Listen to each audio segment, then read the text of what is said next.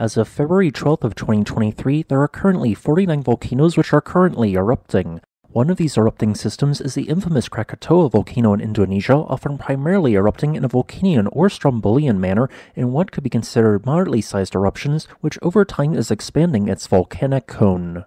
Krakatoa has produced two major caldera forming eruptions in the last 2,000 years, one of which occurred around 540 that produced three surrounding islands within a 10 kilometer radius of Krakatoa's modern cone, and another smaller caldera forming eruption in 1883. With this being said, here are this week's major volcano related news stories.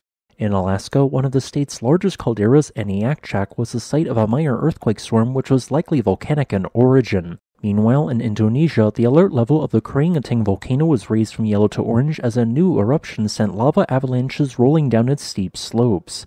And in the Canary Islands, a swarm of earthquakes is occurring between the volcanic islands of Tenerife and Gran Canaria. This earthquake swarm has been ongoing since at least January 27th of 2023 and as of the writing of this video has involved a total of at least 50 quakes which were all of no larger than magnitude 3.0. While the islands which the quakes were clustered between have both produced volcanic eruptions during the Holocene epoch, these volcanoes were not the cause for these earthquakes as many of these quakes instead originated in close proximity to a little known submarine volcano known as Enmedio. Yet, the Enmedio volcano was also not the cause of these earthquakes. Instead, the 38 quakes which occurred in rapid succession between 12:33 p.m. and 4:04 p.m. local time on January 27th, which were mostly in the magnitude 2 range, were tectonic in origin. You see, like many mantle hotspot caused volcanic island change, there is a progression of younger to older islands. Due to erosion and the lack of or low volume of recent eruptive activity on several of the older islands, the crust which is figuratively floating in the mantle became less thick. This caused the crust to be slightly uplifted on several of the older islands, including Tenerife and Gran Canaria. Yet, for some reason, the area between the two islands appears to undergo a higher rate of uplift, which causes uneven strain that generated the ongoing earthquake swarm. No volcanic eruptions are currently expected to occur due to these quakes on the two neighboring islands or the Enmedio volcano.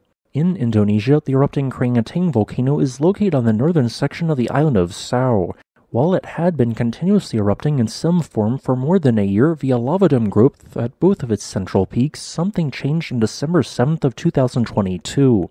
On that day, a new faster growing lava dome emerged in the southern peak, which, over the next two months, grew until it reached the top of the peak. It then, in the last week, overflowed the crater rim where fragments of hot lava fragmented into smaller pieces which tumbled down slope in a series of lava avalanches. These lava avalanches traveled up to 1800 meters or 5,905 feet from the southern peak, primarily occurring in sections of a 135 degree arc from west to southeast, which triggered evacuations of a small number of people who lived on a specific section of Karangetang's slopes. As a result, Karangetang's alert level was raised from 2 to 3 on February 8th of 2023 and a 2.5 kilometer exclusion zone expanding to 3.5 kilometers in the south to southeast sectors was implemented.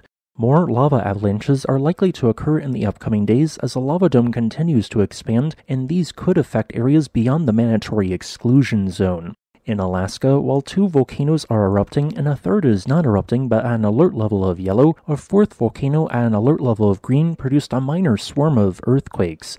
What I'm referring to is the highly scenic Aniakchak volcano, which contains a 10 kilometer wide caldera that formed approximately 3,500 years ago in a massive volcanic eruption. Post caldera eruptions have produced scattered vents in the caldera, but one has not occurred since 1931. The earthquake swarm in question was quite minor but occurred in two separate locations. The quakes were somewhat shallow, but in my opinion were probably related to the volcano's hydrothermal system and are not indicative of an eruption occurring anytime soon. Here is a quick list of all of the world's volcanoes which are currently erupting.